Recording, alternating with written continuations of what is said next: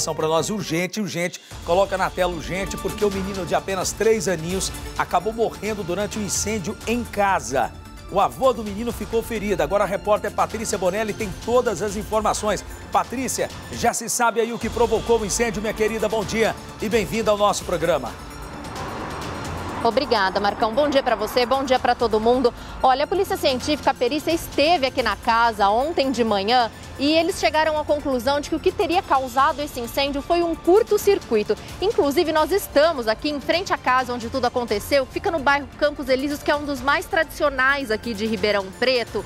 E ali, na parte de cima da casa, no sobrado, que foi onde o fogo começou, a gente vê do lado de fora que tem uma fiação exposta. Inclusive, na hora que nossa equipe chegou até o local aqui hoje de manhã, tinha um pessoal da CPFL, que é a concessionária de energia aqui, passando por aqui e eu conversei com eles e eles me disseram que esse tipo de fiação assim está irregular, mas que isso era comum nessa casa, que eles já conheciam a casa, já vieram aqui algumas vezes por corte de energia e que a fiação aqui é muito antiga, que realmente pode ter sido isso que causou o incêndio. Agora, a tragédia aconteceu no sábado à noite. Os bombeiros foram acionados mais ou menos às 8 e meia da noite, quando o fogo começou lá no segundo andar. A gente vê, inclusive, que aqui ó, tinha uma mureta no sobrado e essa mureta foi quebrada. A gente imagina que pelo corpo de bombeiros para poder tentar chegar até o menino que estava no quarto aqui no segundo andar. O quarto, Marco, a gente não tem como entrar na casa porque agora ela está trancada, mas o quarto onde ele estava ficou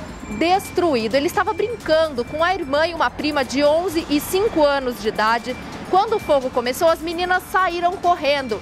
Mas o Cauê Santiago, que é essa criança de 3 anos que morreu carbonizada, tentou se esconder do fogo embaixo da cama. Aqui na parte de baixo da casa, que o nosso cinegrafista, o Breno Custódio, está mostrando agora, estavam a mãe das crianças e uma outra mulher fazendo jantar. E aqui na calçada, que é onde eu estou, estava o avô de 53 anos, que quando percebeu a movimentação, percebeu o fogo, ele entrou na casa e tentou tirar o Cauê, que já estava sem vida.